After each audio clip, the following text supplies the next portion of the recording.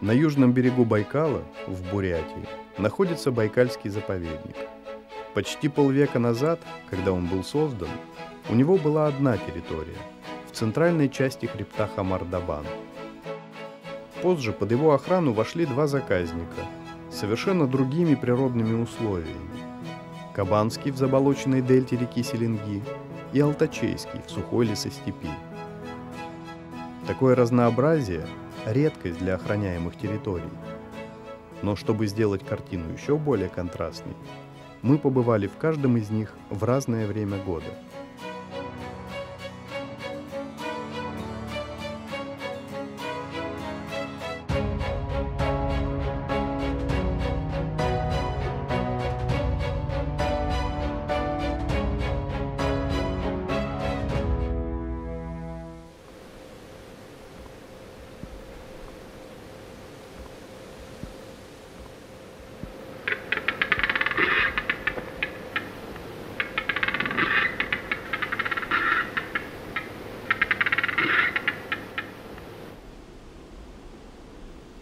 Алтачейский заказник находится вдалеке от Байкала, на склонах Заганского хребта, куда не долетают влажные байкальские ветра. Этот район связан с озером лишь водными артериями, ручьями и речушками бассейна реки Селенги, главного притока Байкала. Одна из них, Алташа, дала название заказнику. Большая часть территории покрыта лесами – в основном сосновыми барами. Они выглядят как после большой уборки, чисто и пусто. Апрель, только сошел снег. Нет еще ни перелетных птиц, ни насекомых. Ниже, по склонам гор, начинаются бескрайние степи Забайкалья.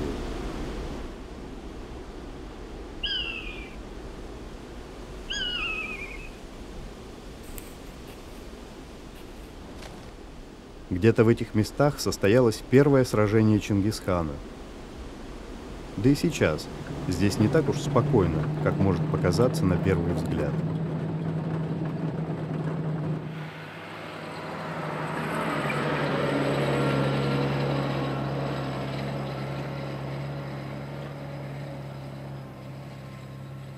Заказник был передан заповеднику недавно.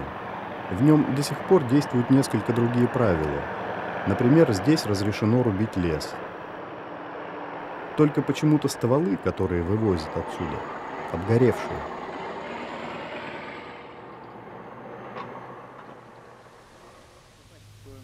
На кордоне сразу обращает на себя внимание одиноко стоящая печь. После передачи заказника заповеднику в 2011 году законы охраны стали жестче – Зверья в этих лесах всегда водилось в изобилии, а значит и желающих на них поохотиться. Кто-то из задержанных в отместку сжег избу. Инспекторы пока живут во временных вагончиках и с сожалением вспоминают о том доме. Добротный был. Но ладно дом. Пожар перекинулся на деревья. Толстые стволы сгорели до пеньков – от кипящей смолы лопалась кора. Можно только представить, что здесь творилось.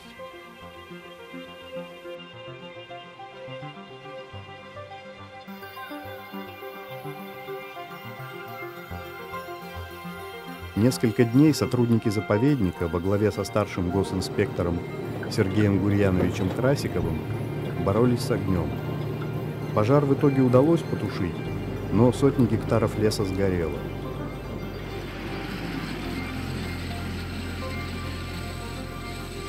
Песчаная почва, сухой континентальный климат делают тайгу Забайкалья очень уязвимой для огня. Особенно сейчас, весной, когда нет зелени. А сосны горят, как хворост. Дым, застилающий горизонт, нередок в эти дни. Тут не нужно рук злоумышленников – Достаточно малейшей неосторожности. Леса выгорают на огромных пространствах.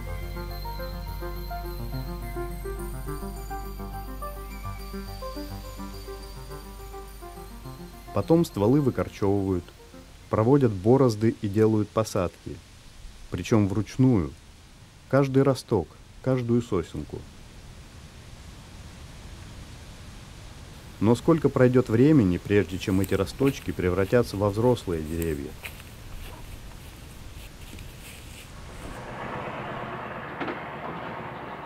Сейчас лесорубы убирают мертвый лес возле кордона. Горелые стволы отвозят на картонную фабрику. А на вырубках тут же появляется компания первоцветов.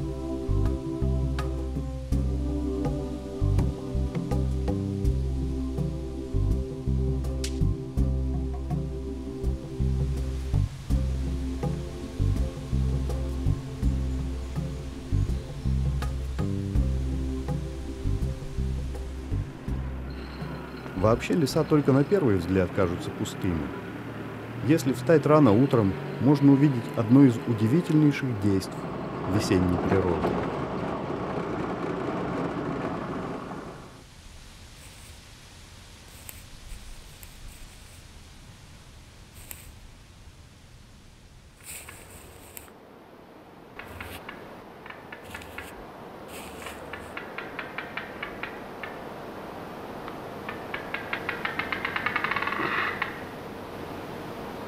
Ночуют глухари на деревьях.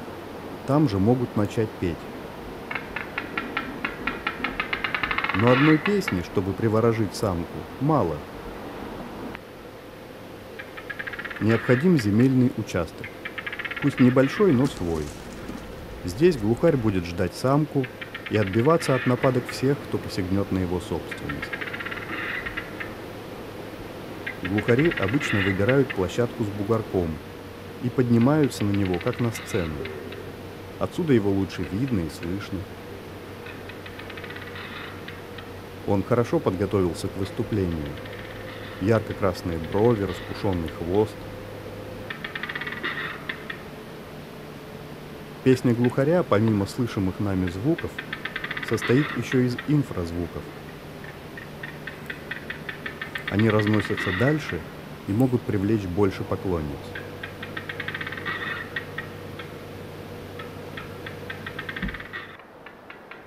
Но глухарки прилетят не скоро. Они появятся на таковище только через неделю или две после начала тока. А пока петухи ходят одни, и с каждым днем их напряжение растет. Увидев поблизости соперника, глухарь бросается в бой.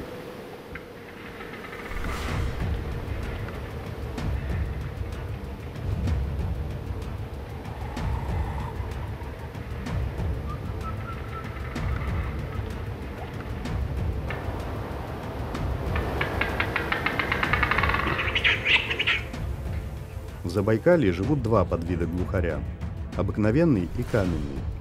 Оба атакуют на одних таковищах и сражаются за тех же самых. Сейчас обыкновенный глухарь с более длинным и светлым клювом нападает на каменного. Каменный и по размеру чуть меньше, но в обиду себя не даст. Обыкновенному приходится отступить. Всем своим видом он показывает, что еще вернется. А победитель начинает петь. Каменные глухари, в отличие от обыкновенных, почти не издают точащих звуков. Этот, видимо, помесь, потому что небольшое скрежетание в его пении есть. По утверждению охотников, из-за такой особенности пения каменные глухари меньше глохнут во время тока, и подобраться к ним куда сложнее.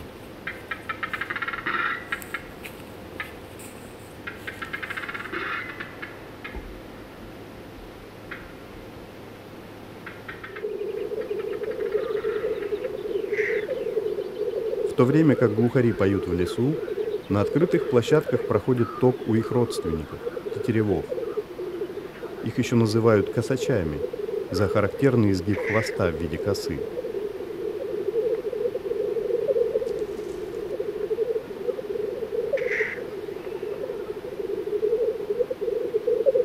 Тетерева мельче и более подвижны. На этом таку битвы не прекращаются. Каждый воюет с каждым.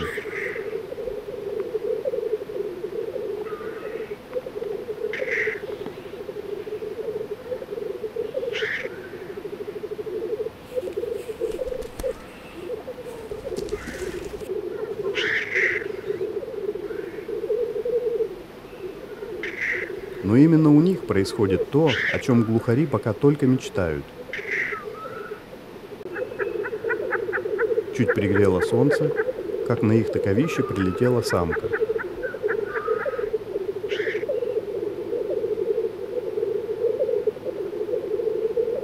Но разгоряченные в битвах самцы даже растерялись. Они словно не знают, как с ней обращаться.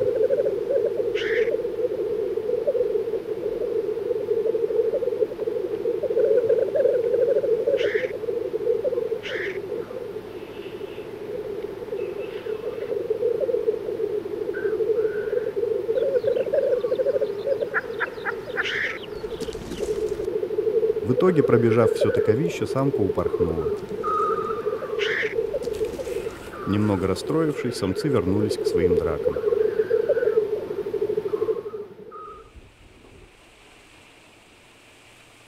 Ток длится примерно до 10-11 часов. Птицы сильно устают. Днем они будут кормиться и набираться сил до следующего утра. Так будет продолжаться несколько недель.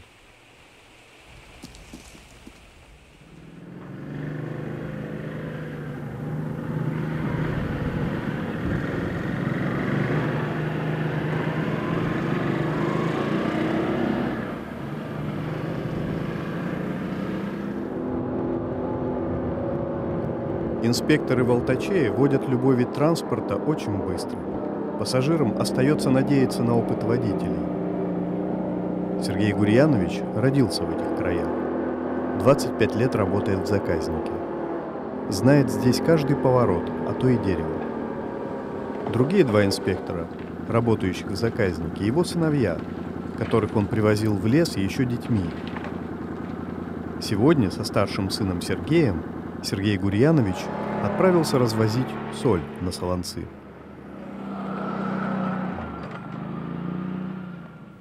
Делается это раз в год весной, потому что после зимы животные особенно нуждаются в минеральной подкормке.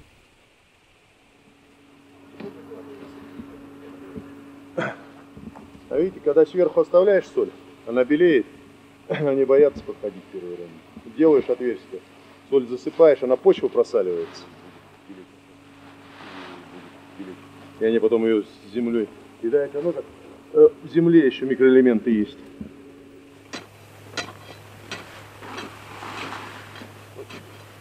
Вокруг Листьян и вот этот берег. Но Вот в такие ямы превращаются солонцы после долгого использования. Как постамент остался. Когда они его объедят до конца, чтобы выдернуть. Какой популярностью у зверей пользуются солонцы, можно увидеть по кадрам с фотоловушек.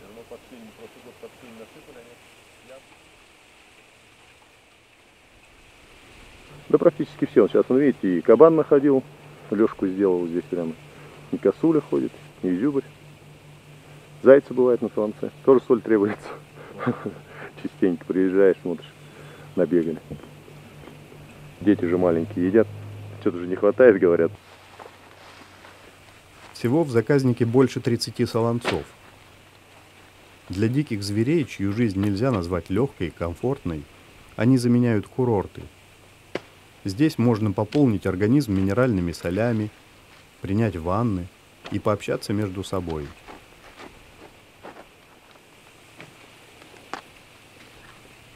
Однако места эти привлекают к себе и хищников.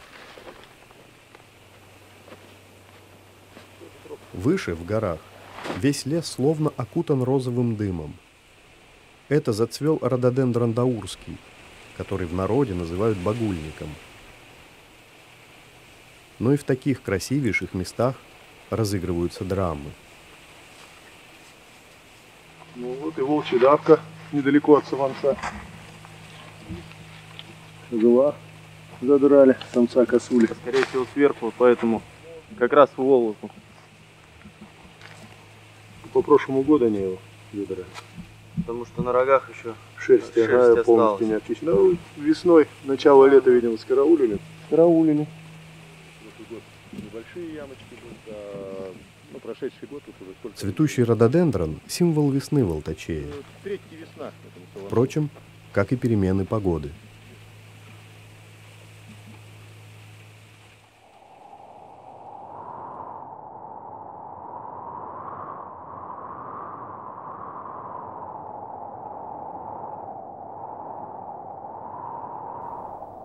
Снег шел сутки без перерыва. Он принес новые хлопоты сторожу дяди Яши, но все же был встречен инспекторами с радостью. Стоявшая сушь грозила новыми пожарами. Теперь какое-то время можно об этом не беспокоиться. Но мы не знаем, обрадовался ли снегу багульник, и как отнеслись к возвращению зимы глухари, у которых ток в самом разгаре.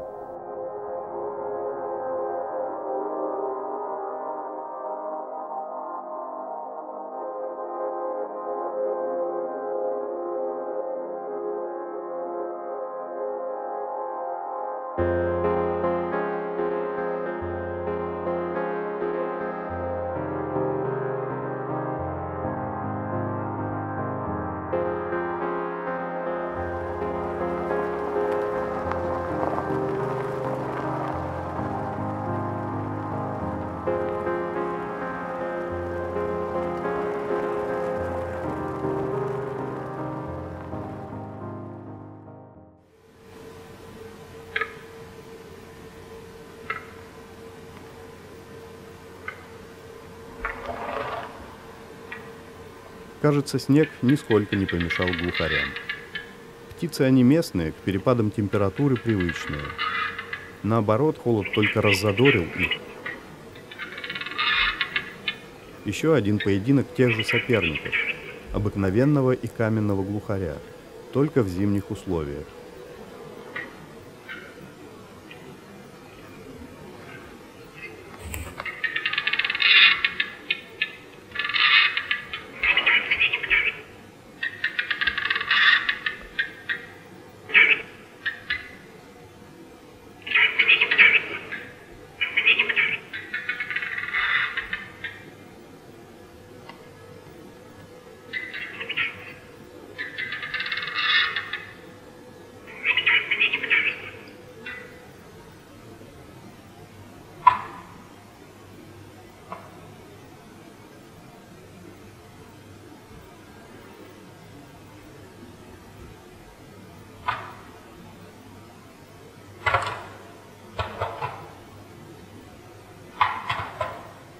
Сейчас, когда еще не прилетели самки, драться всерьез смысла особого нет. Петухи понимают, что пора бы расходиться. Но нужно это сделать так, чтобы соперник не заподозрил в трусости.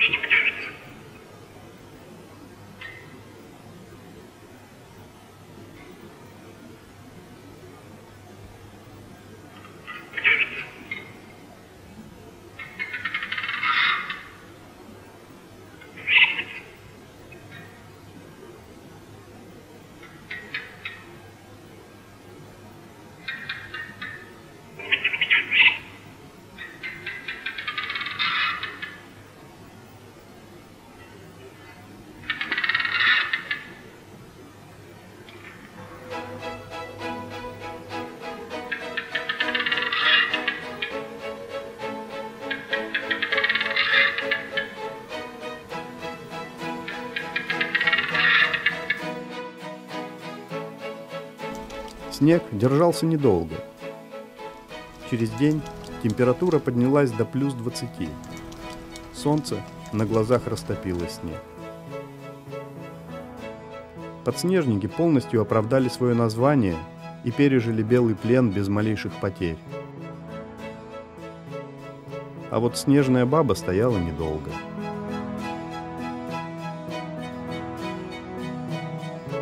Весна вернулась.